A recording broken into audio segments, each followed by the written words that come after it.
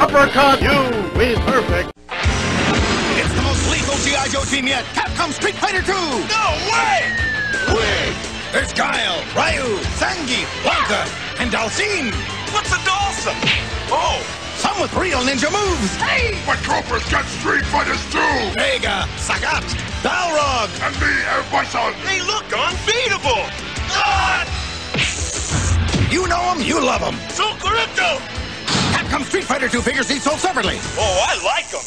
It's Capcom Street Fighter 2. What's tougher than a Capcom Street Fighter? A Street Fighter's mother?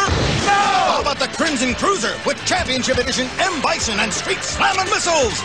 It's not as tough as Championship Edition Guile going boom in his Sonic Boom tank.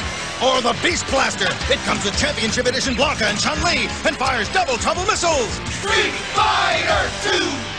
Capcom Street Fighter 2, Sonic Boom Tank, Crimson Cruiser, and Beast Blaster come with Championship Edition figures, each sold separately. That's a lot of stuff!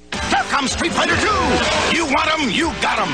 12-inch tough, snarling, savage Street Fighters! Ryu's ready with a Kung Fu 1-2! Blanka's gonna bonk ya! Lyle Guile and you'll go out in style! And Wicked M. Bison comes out slicing! Capcom Hall of Fame Street Fighter 2 figures each sold separately.